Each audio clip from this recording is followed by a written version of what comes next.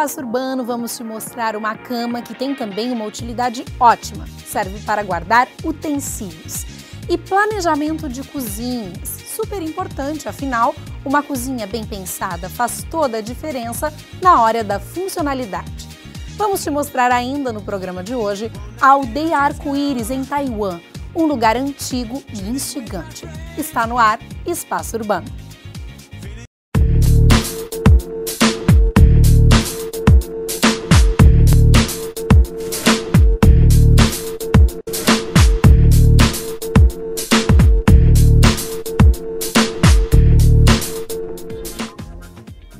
As cozinhas são amadas e odiadas. O segredo do sucesso é o planejamento. Grande ou pequena, uma cozinha funcional pode ser conseguida através de qualquer espaço. Apenas terá de ser bem pensada, tendo sempre em conta o orçamento disponível. Existem soluções adaptáveis a todo tipo de cozinha, sejam lineares, com ilha ou também americanas.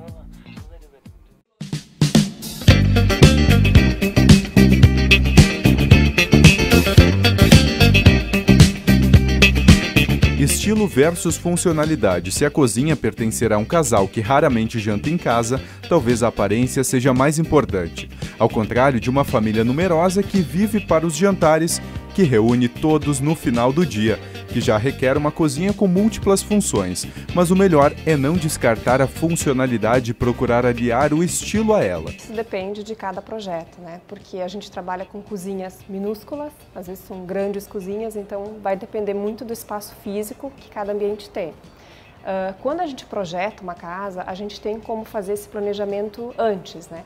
Às vezes, quando você compra o teu apartamento pronto ou compra uma casa pronta, aí você já tem os pontos de água, que já normalmente já são pensados para ficarem no espaço certo. Né? Então, o que, que é o, a nossa função de colocar os móveis? Normalmente, a gente tem que respeitar o que já foi colocado antes. Né? Às vezes, conseguimos mexer um pouco na eletricidade, puxando pontos de luz para outros lugares, por exemplo, a questão do, dos fogões, né? Só que a questão, por exemplo, do ponto de água, de esgoto, a gente não tem muito como mudar, então acaba respeitando o projeto que já existe, né?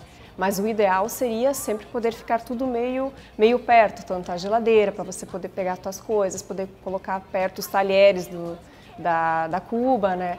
Ou então a questão uh, da, do fogão, ficar tudo meio próximo, para você não ter que andar muito dentro da cozinha e achar fácil o teu produto, né? o que tu tem que fazer, o que tu tem que cozinhar. Né? Então essa sempre, normalmente, a gente se adequa ao projeto que já existe e tenta criar novas funções dentro daquilo que o cliente gostaria, como ele gostaria que fosse a sua cozinha, né? A gente tenta adequar isso, né? He's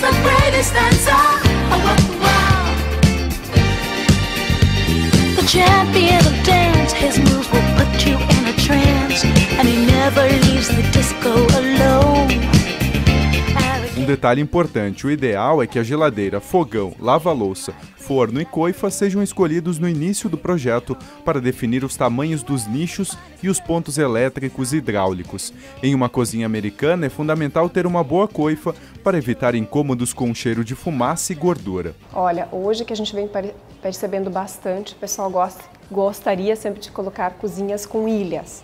Eu vejo que está cada vez mais em alta isso quem constrói casa acaba já fazendo uma cozinha um espaço maior e acaba colocando essa cozinha com ilha dentro, né?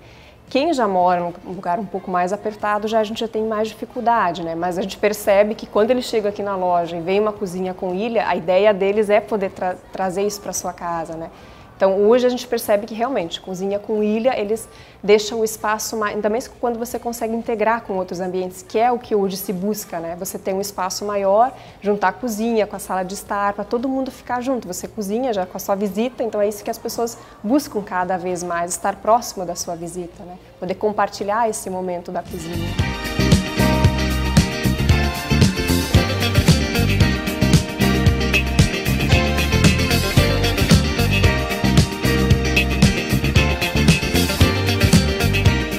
Para poder trabalhar e movimentar-se à vontade na cozinha, certifique-se que do chão à bancada os armários têm uma altura de pelo menos 90 centímetros e uma profundidade de 60.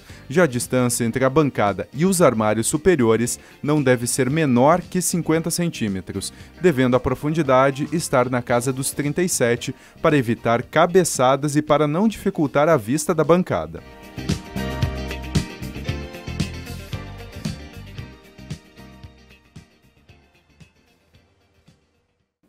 Isso aí, a seguir um modelo de cama para guardar roupas de cama e também utensílios.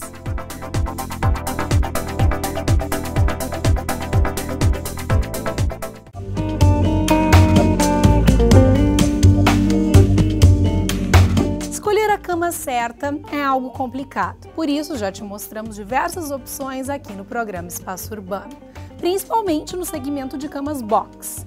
Hoje você vai conhecer um modelo indicado para quem precisa de espaço para armazenar roupas de cama e também utensílios.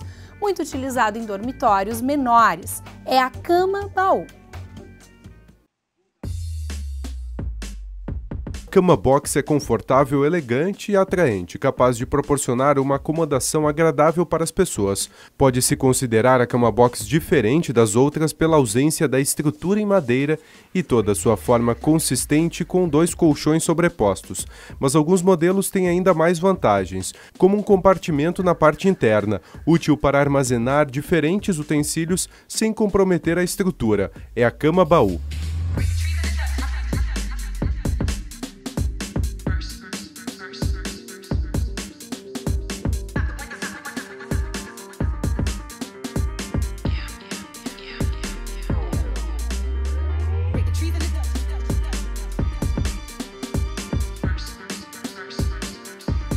Hoje as vantagens da cama baú, a primeira em questão é a questão de espaço, né? Hoje a gente associa como ela se fosse um, uma peça de um armário, só que deitado, né? Hoje um box normal a gente diz que é um espaço morto e tendo a compra de uma cama baú, então a vantagem é de tu conseguir guardar coisas de maior estatura, como tanto malas e cobertas, embaixo. Sofisticada e ideal para os ambientes com pouco espaço, a cama box com baú tem espaço onde podem ser armazenados cobertores, mantas, lençóis e travesseiros. Sabendo usar o compartimento, se gasta menos espaço no armário com a roupa de cama. A caixa de madeira acoplada permite o movimento de abrir e fechar com praticidade, compondo assim um baú ajustável às necessidades do usuário. Muito fácil. Até em função do sistema que ela carrega, né? São dois pistões hidráulicos, que tem a mesma função de um porta-malas do carro. Então, geralmente, tu flexiona a peça pelo tampo no meio, ela levanta, né? Automaticamente, depois tu dá uma flexionada ela abaixa, então, bem tranquilo.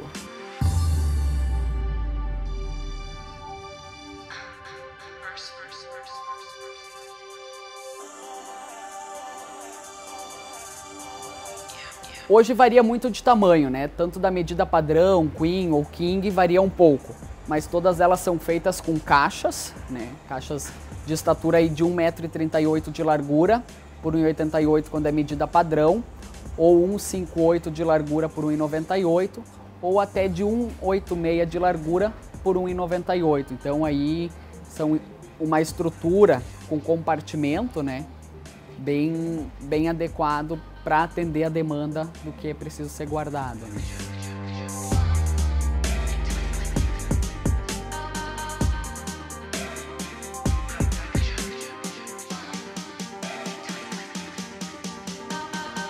A diferença hoje é questão de valores, então ela varia em torno de, dependendo a questão do box, o padrão do box e a medida. Hoje se a gente for pegar uma questão de box padrão, a variação é em torno aí de 900 reais. Se for pegar uma medida queen, a variação fica em torno de 600 reais mais ou menos uma média de valores. É importante escolher um modelo que combine com os demais elementos do quarto, determinando um visual harmônico ao ambiente.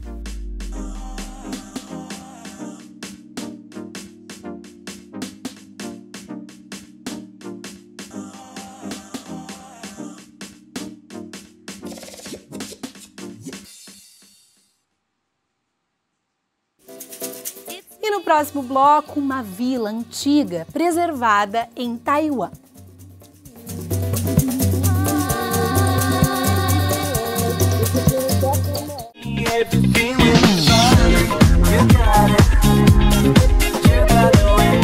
Estamos de volta.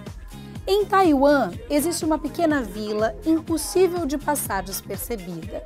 Já foi conhecida como um local de militares, mas atualmente é apelidada como Aldeia Arco-Íris. Por quê? É muito simples. Basta olhar para as casas. O ambiente desta vila acabou se tornando tão lúdico e dinâmico a ponto do presidente da Câmara ter desistido da demolição dos edifícios antigos.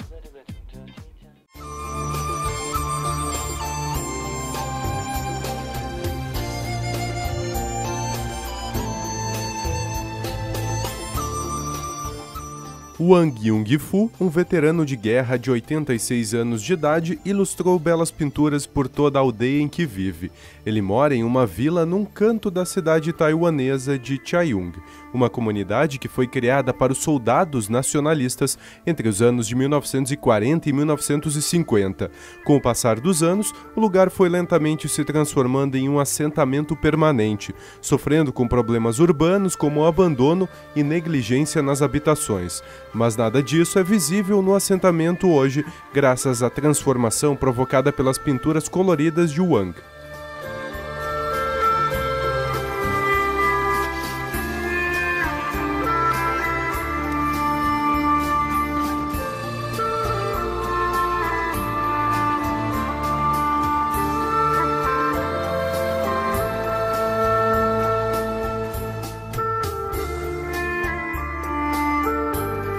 As ruas e as paredes de praticamente todas as casas da aldeia estão cobertas com pinturas simplistas como plantas, animais, aves, búfalos e até personalidades de TV.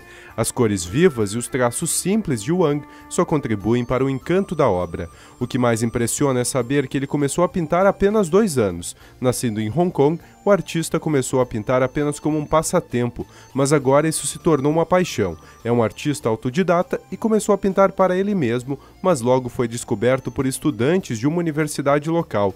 Eles tiraram fotos de seu trabalho que se tornaram virais, transformando o pequeno povoado em uma grande atração turística de Taiwan. A Vila do Arco-Íris está agora na lista dos pontos imperdíveis da cidade de Chayung.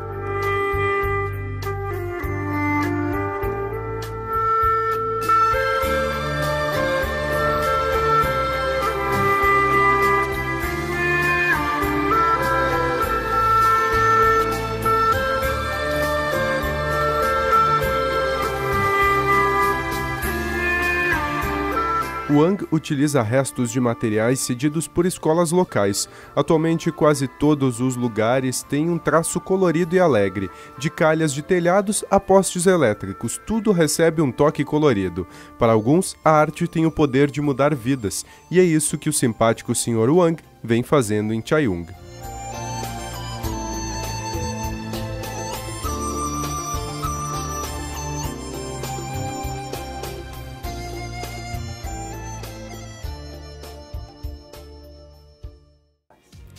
Por hoje é só, muito obrigada pela sua companhia e eu lhe encontro na semana que vem com mais Espaço Urbano. Assista também os nossos horários alternativos e acompanhe o nosso canal no YouTube. Até mais!